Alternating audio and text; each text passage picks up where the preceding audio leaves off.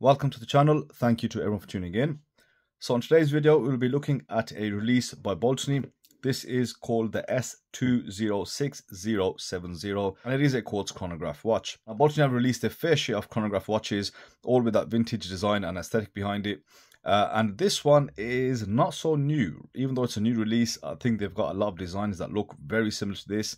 There's only one major difference with this watch, uh, which they haven't used before, and that is the movement. They've gone for a solar quartz movement. This is the Seiko 7S71 solar quartz movement in this watch. Now, as I said, with a lot of the chronographs, uh, there's a lot of similarities between them. Uh, for example, this case and these uh, pushers you'll recognize from another model the S5057 but that has a slightly different case. They've also done this style of case I think multiple different times. I think they did one in titanium as well with a just slightly different dial layout. So as I said there's a lot of choice when it comes to chronographs from Baltany let's go ahead and take you through all the smaller details. So in terms of dimensions this is a 39 millimeter case. It's got a thickness of 12.2 millimeters and a lug to lug of 46.7 millimeters with a lug width of 20 mil. Now, these dimensions on a lot of the chronographs with this size, the 39 millimeter case, is really wearable. Uh, it's good for smaller wrists and slightly larger wrists. Um, thickness is it's a little thick for a quartz watch in all honesty. Generally, they do wear quite well. Now, in terms of specifications, standard specifications from Baltany on this one, a sapphire crystal steel case, but the watch only has 100 meters of water resistance possibly due to you know the no gasket being in the crystal and the reason i say that is because the case is screw down uh, but you also got screw down pushers and a screw down crown so potentially the watch could have higher water resistance but they have rated it only at 100 and as I mentioned, the movement in this is that Seiko VS71 solar quartz movement, which gives you roughly about six months of battery life once it is fully charged. So with this watch, you do have two different colors. You've got the brand that you see in hand and you've also got a black one with a black leather strap. Now Baltany have provided this with this brand leather strap. It's a very generic leather strap. They do it on a lot of their models. And I think Baltany need to kind of step away, starting from being a bit generic. So I like to see much better straps coming from them. Um, you know, they make all types of models. Some are really good and some have the right vintage inspiration behind it, which makes them quite popular. Um, but yeah, I would have preferred this with a much nicer strap in all honesty. But I do like the dial color. Now, on a personal note, I think we need to see a lot more brand dials from a lot of suppliers or watchmakers uh, because brand, eh, you know, is a dial color that you rarely see.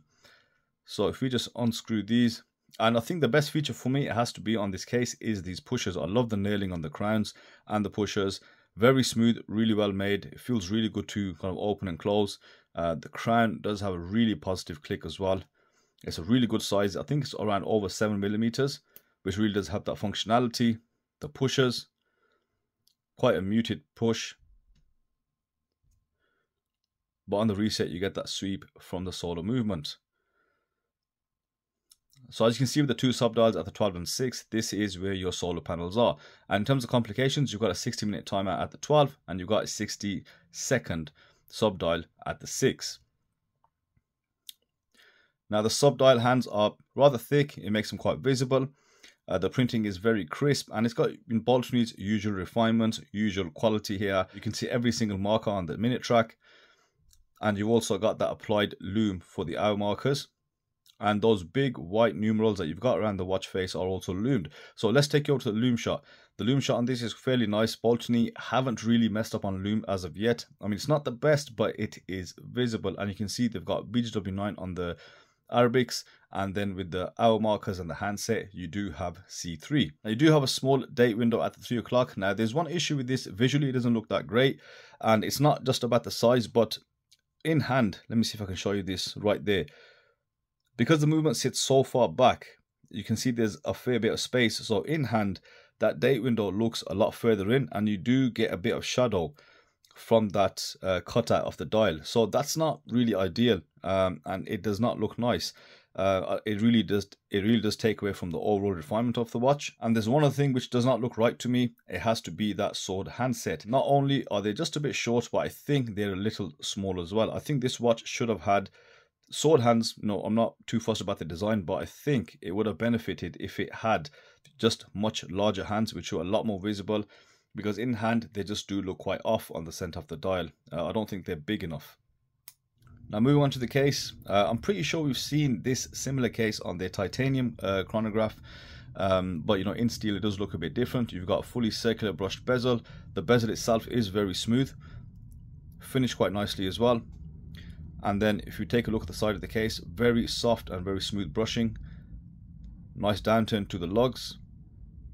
And it's a very crisp looking watch. I mean, the cases are quite high end. Uh, I don't think I've had a bad case from Baltany as of yet. But the case back is plain. And uh, yeah, fairly nice design. So I'd say I think the case is a lot better. Um, I just wish they probably made it just a little bit more interesting, did a few more things to the dial, uh, definitely changed the handset, made it much bigger. Um, but yeah, this is the Baltany S206070. So let's put this on wrist and let's see how it looks. So as I did point out earlier, this 39mm case from Baltany does fit really well.